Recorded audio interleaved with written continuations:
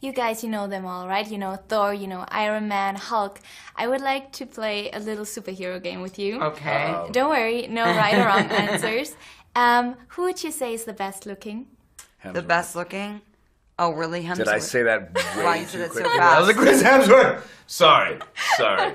Scarlett Johansson. Thanks. That was better. I was ex- not expecting that, but it's nice, nice to hear. Thanks. Yeah, is it weird that I said Hemsworth? It's weird. It's on film now.